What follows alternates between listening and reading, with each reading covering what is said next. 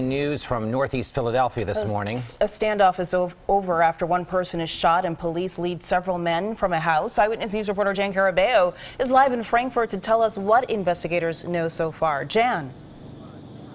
Jim and Janelle, good morning. Police remain on the scene here in Frankford today. We're told they're waiting on a search warrant so they can go back inside of the home to search for evidence possibly left behind by this shooter. A lot has unfolded here over the last couple of hours. Early this morning, we're told this all started with a shooting right right around 1.30. That turned into a barricade situation. And finally, just a short time ago, a group of men was taken into custody.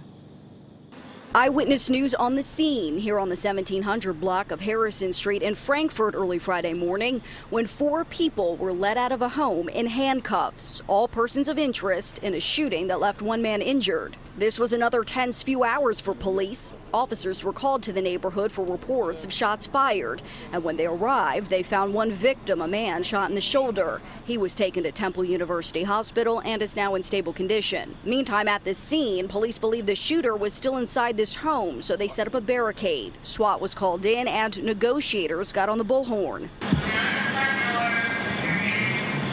Eventually, those four persons of interest were brought out. At least one child was also led away from the scene, believed to be inside the home during the barricade situation as well.